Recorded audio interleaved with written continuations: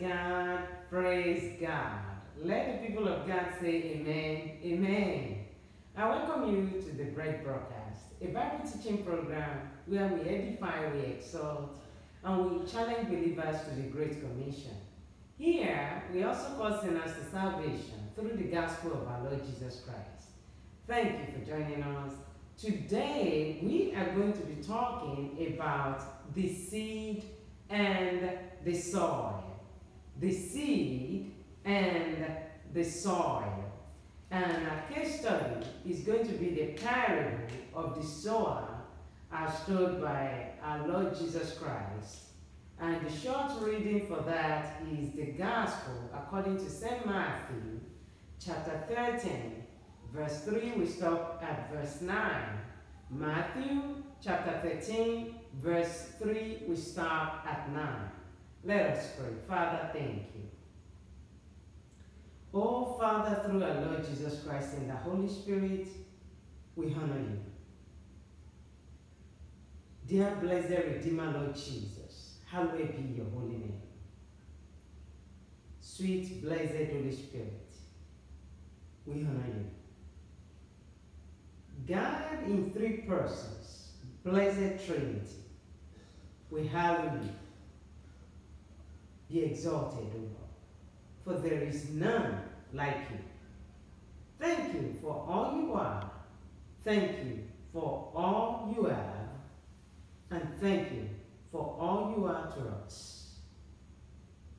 Lord, we ask that you take this lesson and use it for the glory of our Lord Jesus Christ. Holy Spirit, teach through me.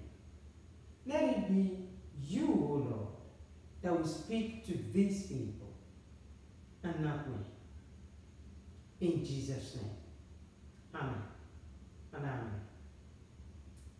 Our foundation text is the Gospel according to St. Matthew, chapter 7, verse 21. Matthew 7, 21. Not everyone who says to me, Lord, Lord, shall enter the kingdom of heaven, but he who does the will of my Father in heaven. That's straight from the Lord's mouth himself. So what can we learn from the seed and the soil? Now, anytime the Bible uses the word seed, is always talking about the word of God. It's not money. No. Some people have they've taken that off and they'll say plant your seed. No. The seed, according to the gospel, is the word of God. So let's get that straight. And the soil is the heart of man or the heart of the woman. Your heart, my heart, that is the soil.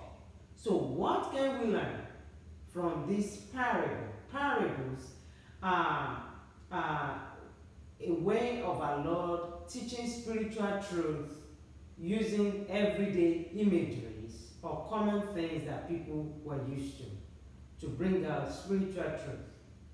And the Lord, if you read the short reading, so I'm not going to, to go over that parable because I want you to go read it.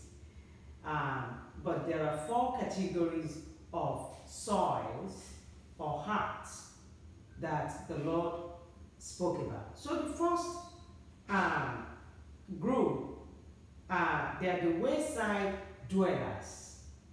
Now, the Lord said the seed fell on the wayside. So I coined that language, I call them the wayside dwellers or the rebellious. This group shows the natural state of man. When I say man, I'm talking about mankind, human beings. We were all born with, a with rebellious hearts. Naturally, we are children of rebellion because that had been passed down through Adam's blood to every one of us. Nobody was born uh, a Christian, a believer. No. But as time goes on, the Lord gives every one of us the opportunity to hear the gospel and the opportunity to make a choice, okay? So this group, the Wayside Dwellers, they show the natural state of the heart of man. Individuals in this group have had access to the gospel. Please listen closely, especially if you're a believer and you, you, you mentor people or you, you teach people. The people in this group, the Westside people, they have had the opportunity, the access to the gospel. They comprehended the gospel. They are not mentally challenged. They know right from wrong. But, listen up. They have chosen to tune out the word of God, you see. They do not want to surrender to the Lord. The representative of this group will be the Jews in the time of the Lord. The Jews of Jesus' time considered that Christ had done all things well, according to Mark 7:37. And they also agreed that the Lord Jesus had committed no sin. According to John 8 46, they said it with their own mouth. Yet, they contended with the Lord because he said he was God in John 10 33. They would rather choose who ruled them. That was their problem, than voluntarily surrender to live under God's rule. This same group would later declare Caesar as their king. Can you believe that? In John 19:15. So they wanted their own kind of king. They if if the money want if they want money to be their king, money will be their king. If self, wow, if they want self to be their king, self will be their king. So the people by the wayside, the wayside dwellers, they choose their own king. This rebellious group hates the Lord. Because the word of God never entered their heart by choice. You see. Let's go to Acts 24 25. And this is a very classic example. Acts 24 25. This is uh, Felix, the Roman uh, governor in Caesarea, when Apostle Paul was brought to his presence. And Apostle Paul began to preach in his presence. Uh, now as he reasoned, that is, as Apostle Paul reasoned about righteousness, he was preaching to him about righteousness, self-control, and the judgment to come. Felix was afraid and answered, Go away for now. When I have a convenient time, I will call for you, you see. He was afraid because he understood what Apostle Paul was saying when he started talking about righteousness, about judgment to come, and he became uncomfortable. And he said, Go away from that. Go away. The people in this group, they shoo the preachers away. They shoo children of God away. They shoo the Bible. They don't want to hear the name Jesus Christ. No, they, they're like, no, no, no, don't, don't, just go. By choice. Your life is on hold when you put God on hold. Listen up. If you are one of those people that you don't want to hear anything about the gospel, I don't want to have anything to do with God, ah, please don't preach to me. If you are one of those, you may be wonderful to yourself. Listen now. You need God. If you don't agree now, God forbid, if you should die in that state and go to hell, you will know you need God then. But I'm, I'm telling you, you need God even right now. So if you have been putting God on hold, you have been putting your life on hold. Your life is on hold when you put God on hold. Moving on. The stones dwellers. I call them the replicas. This group shows the superficial state of mind. They join in in doing what others are doing without any deep thought about its ramifications or any personal conviction whatsoever. They are very shallow. This group of people live a bandwagon life. A representative of this group will be Simon the sorcerer in the book of Acts chapter 8 verse 9 to 13. Simon the sorcerer, he saw everybody in Samaria giving their lives to Jesus Christ when Philip preached in the, in the city of Samaria. So the Bible says Simon also believed, you see, and was even baptized. However, watch this. His heart was exposed when he asked Peter to send the Holy Spirit to him so he also could be performing miracles. When he saw the apostles that they were laying hands on people and people were receiving the Holy Spirit, guess what? He wanted to do that again, you see. He was everywhere. He saw people giving their lives to Jesus. He gave his life, quote unquote. Then he saw the apostles uh, doing miracles by the power of the Holy Spirit. He wanted it too. He wanted it too, you see. He was everywhere with everybody without any deep thoughts. Simon's faith, if you can call it that, for the lack of better word, was superficial. It had no depth. While it was thought that he became a believer and was even baptized, the Holy Spirit exposed him as not being a true believer. Because Apostle Peter, by the Holy Spirit, said that Simon had no part, no portion in this matter. What matter? In the case of the Holy Spirit. Because his heart was not right, you see. And the Bible says, uh, if, you don't belong, if you don't have the Spirit of Christ, you do not belong to Christ. So Apostle Peter by the Holy Spirit said, your heart is not right. You have no part or portion in this matter. In other words, you are not born again, Simon, even though you have been baptized, you see. The replicas are attracted by other people's reactions to the gospel and do not want to be left out.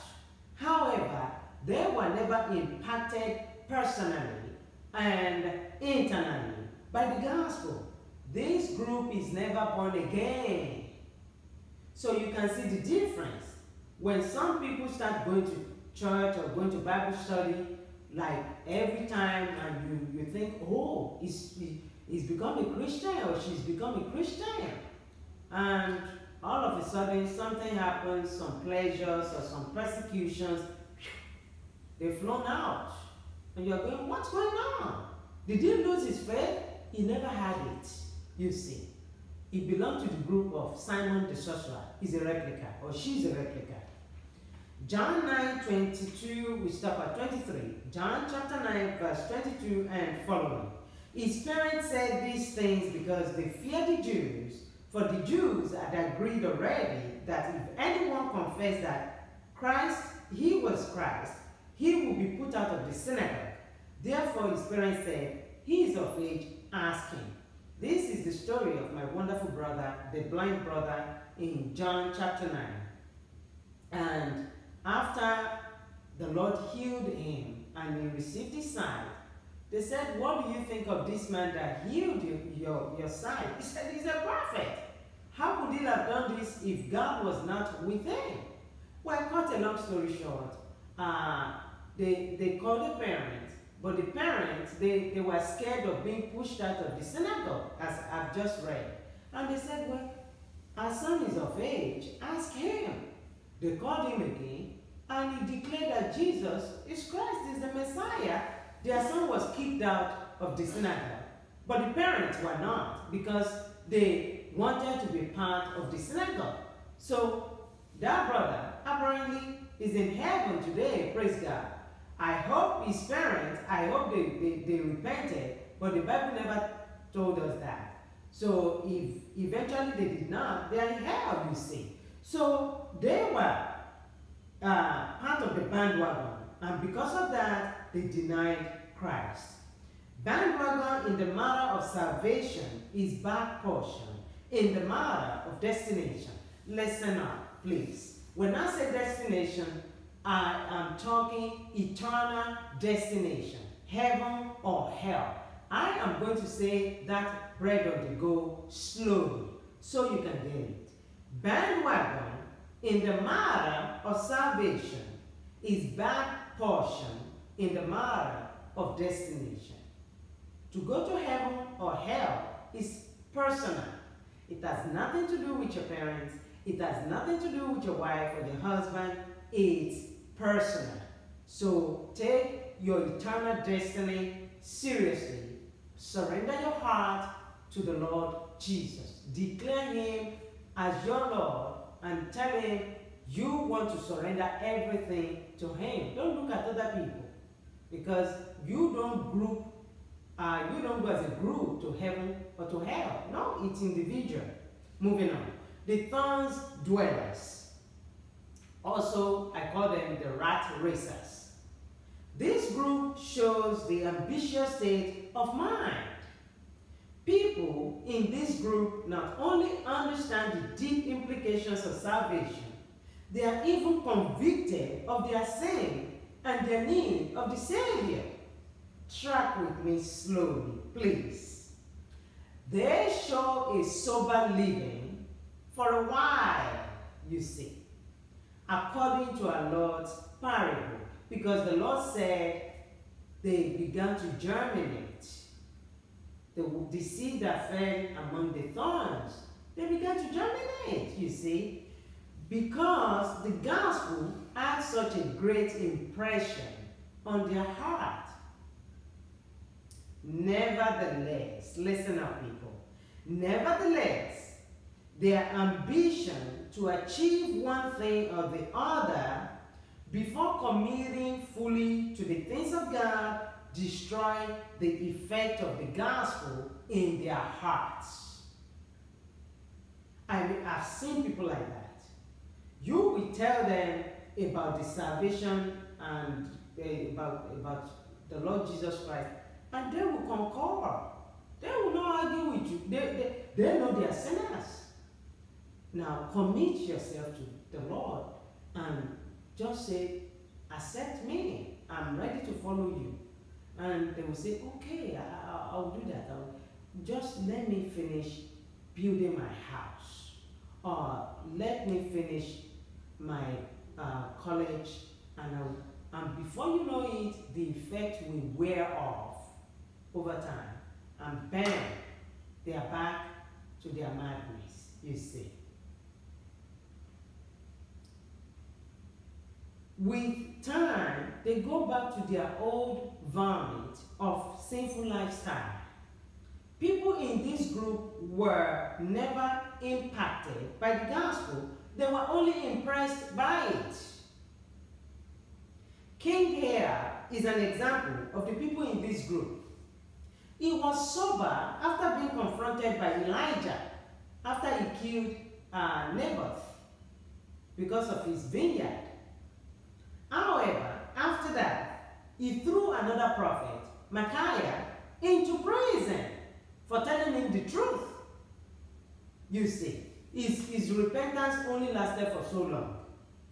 Unfortunately, this group is not born again because God's word never produced the intended result in their heart. The end result that God is looking for in every heart is that the heart be changed to receive a new heart from heaven and the Holy Spirit comes into that heart. If that is not achieved, then the gospel has not succeeded in the life of that person. It's not because you lived soberly for six months or for six years. No. The gospel is successful in your heart when you receive a new heart from heaven and the Holy Spirit comes into your heart. Then you are saved.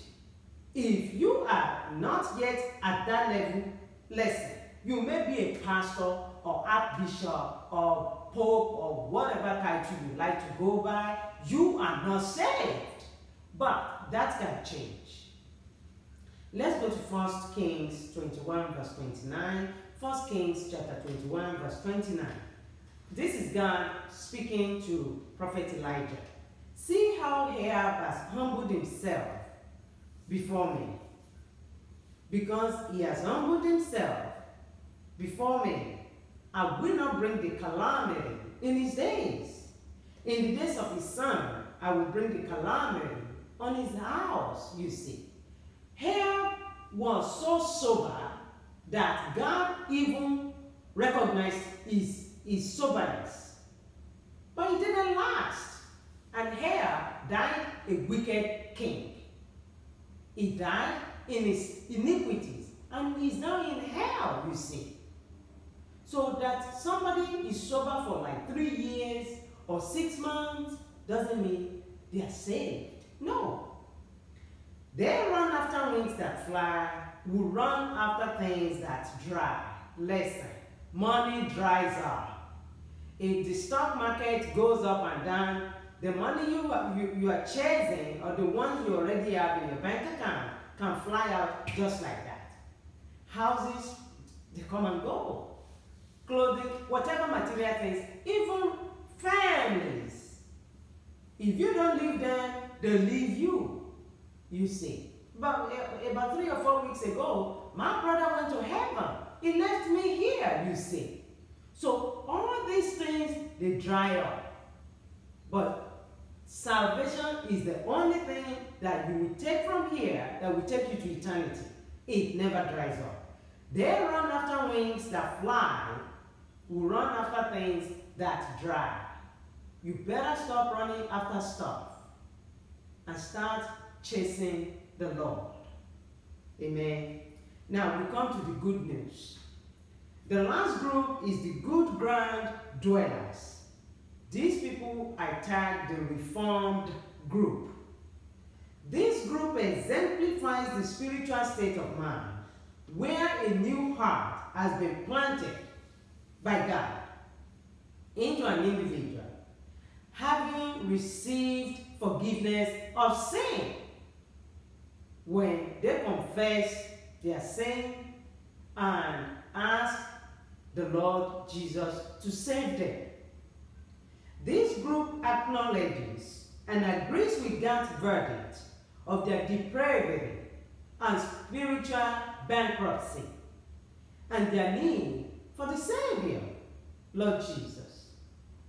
It does not mean, please listen to this carefully, it does not mean just because the Lord called them the seed on the good ground, it doesn't mean this good ground does not have its own stones and thorns. But despite the hindrances, their commitment to the Lord and their desire for Christ and spiritual things have made them overcomers to become fruitful for the Lord. You see, I was sharing with my husband, I grew up in, a neighborhood where people gossiped a lot because there were so many old people around, around me. And what I thought was like a passing comment, the Holy Spirit said, that's gossiping. I was shocked, you see. And I was like, Father, I need your help. Just help me. When people walk around or they do something, it's none of my business. I don't need to pass any comment, you see. So that's a thorn, but God is helping me, you see. Some people theirs may be anger or whatever, but because their desire, our desire is for the Lord and to be like Christ, against all odds, when the Holy Spirit tells us this is wrong, we will say, okay, Lord, help me, and we are willing and ready to surrender that area for the Lord. And in no time, the Holy Spirit will help us, and we become more like Christ Jesus, you see. So just because the Lord said they are good ground doesn't mean they don't have any challenges. They do. But their, their commitment to the Lord has made them to be obedient to the dictates of the Holy Spirit. Let's see some examples. Abraham in the Bible, Abraham, before he became Abraham, he had to overcome his devil worship background by obeying the Lord and he left his country of birth so he could become fruitful for the Lord. Ruth had to uh, separated herself from her family and also her country of birth to be joined together with Naomi before she could be a good ground, you see. Peter had to overcome his impulsive behavior, cussing people out and cutting people's uh, ears off, you see. He had to overcome that in the power of the Holy Spirit. He kept surrendering himself to the leading of the Holy Spirit until he became a gentleman indeed. And also his racial bigotry. He had to keep uh, surrendering to the Holy Spirit until he overcame that to become a fruitful ground for the Lord. Lazarus, the beggar, the Bible says he was a poor man. He didn't allow his poverty to stop him from being saved, you see. Joseph of Arimathea, the Bible declares that he was, he, he was a very rich man and very influential. He didn't, he didn't allow his wealth to stand between him and salvation, you see. He had to overcome that power of wealth and riches and influence, and he humbled himself to, to, to become a fruitful ground for the Lord, you see. And Apostle Paul, time will fail me to start talking about this wonderful man of God. He had to overcome his fanatical religious background and submitted himself to the Holy Spirit to become a fruitful ground, the apostle to the Gentiles, you see. So we have all these kind of examples in the Bible and even now in the world. A lot of people, they used to be prostitutes. Uh, I, I once shared the story of a brother who was a bank robber. He went to, to, to prison for, for, for some time and he, he later became a child of God, you see. So every one of these people in this group, even though they are good grants, they had stuff that they had to overcome to become fruitful. But they were faithful and they desired Christ more than anything. And that's what made them fruitful for the Lord. That's why the gospel had the, the success in their heart. Why fruitfulness at this level varies based on individuals' motives and faithfulness to the Lord and the things of God. Overall, this group is impacted by the gospel enough to be reformed by it for their lifetime, you see. John chapter 9 verse 8, Gospel according to St. John chapter 9 verse 8, Therefore the neighbors and those who previously had seen that he was blind said, Is not this he who sat and begged? Until your Christianity makes your neighbors and your relatives to say, Is this not the same Josephine Zion that I used to know 20 years ago? What happened? Until your Christianity gets to that level, you are not yet reformed. Alright? Christ's offer will alter your life for good. Christ's offer of salvation will alter your life for good. If your Christianity has not altered your life to reform you, you are there to be born again. So, what have we done so far? What can we learn from the parable of the seed and the soil? Number one, the wayside dwellers or the rebellious. They love self-rule and detest God's rule. The stones dwellers and the replicas. They profess faith based on external reaction. The thorns dwellers or the rat racers. They miss out on salvation because of their love to chase after things. The good ground dwellers or the reformed. They fully commit to the Lord and so impacted that their lives become radically changed forever. Now, watch me. If you're a genuine believer, you can only belong to the Reformed group. That's it, according to the Word of God. You can only belong to the group good ground. That's it. However, fruitfulness in this group varies, like I said about two minutes ago. How, fru how fruitful are you to the Lord and to the gospel? How fruitful? Your fruitfulness is directly linked to your faithfulness. And you will be rewarded for your faithfulness. Alright? Now listen up, please. If you go to church, you've been baptized, you are in the choir, you are the preacher in your church or your Bible fellowship, you are the women's leader or the men's leader, but you do not live a holy and reformed life. You are a baptized pagan. Say what? Says the Bible. You are a baptized pagan. A baptized pagan, come on close, we end up in hell, hellfire. Just like other workers of iniquities. But you can change that. Oh yeah, you can. If you're a non-believer, you belong to one of the first three groups. You are either a wayside dweller, or a stone dweller, or a thorns dweller. Any of these groups can only take you to one place, the lake of fire. That's it. That's all you are looking at. But you can change that too. That can change for you. If you're a baptized pagan or a stark pagan and you want to change, a change of direction in life and to eternity, a link is coming up. Follow that link. I only have so much time on this program. And we will meet you on that link. All right? Father, we thank you. Oh Lord, help us to meditate on what you have told us.